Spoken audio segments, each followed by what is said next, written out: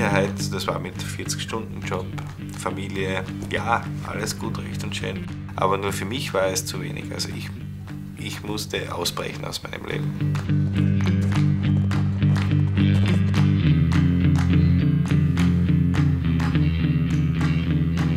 Jetzt bin ich zurzeit unter den Top 100 von über 200.000 Menschen weltweit, die sich anfangs beworben haben. Mars One äh, will ja auch eine Kolonie gründen und äh, den Mars besiedeln und auch dort bleiben.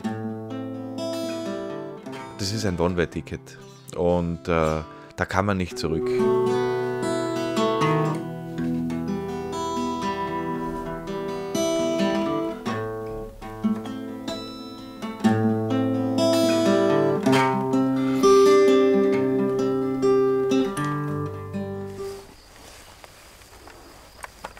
Kann man sich vorstellen, keinen Vogel mehr zwitschern hören.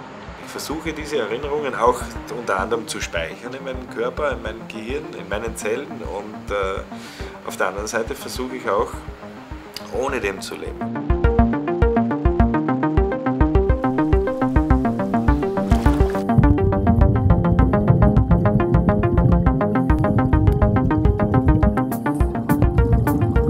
Also das ist für mich ein ein riesengroßes Abenteuer, wahrscheinlich das größte in meinem Leben. Und einer der ersten da zu sein, der was sowas erleben darf, ist für mich, sprengt eigentlich jegliche Vorstellungskraft, aber das ist genau das, was ich will.